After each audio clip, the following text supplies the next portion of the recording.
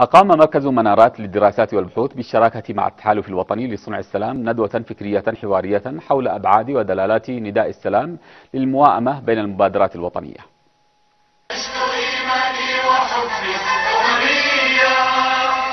الأمن والاستقرار هو السلام.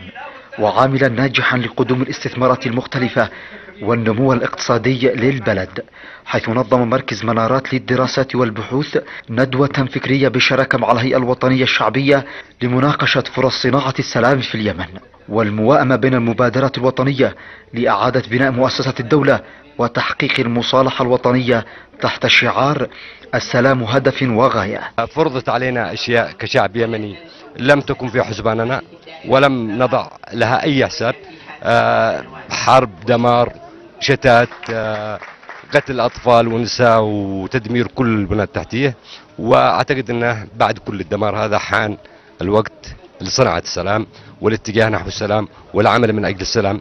الندوة سعت إلى إثبات أن لا نهاية حقيقية للحرب سوى بالعودة للحوار والجلوس على طاولة المفاوضات بنوايا وقناعات حقيقية وصادقة.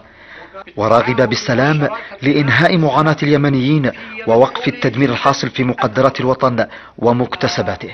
السلام آه، يعني وقف الحرب الهمجي البربري الذي أودى بحياة عشرات الآلاف من اليمنيين ما بين قتلى وجرحى ودمر كل مقدرات الشعب اليمني.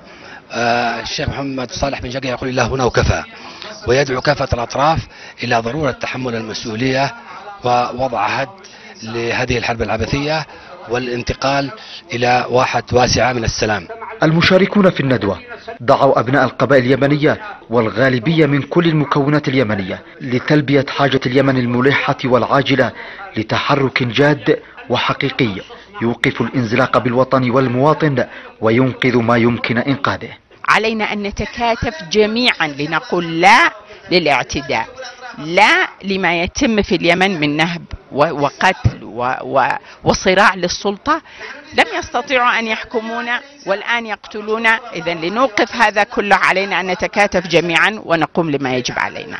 نبذ الكراهية وخطاب العنف واستبداله بخطاب إيجابي حقيقي يعبر عن تطلعات الشعب وطموحاته.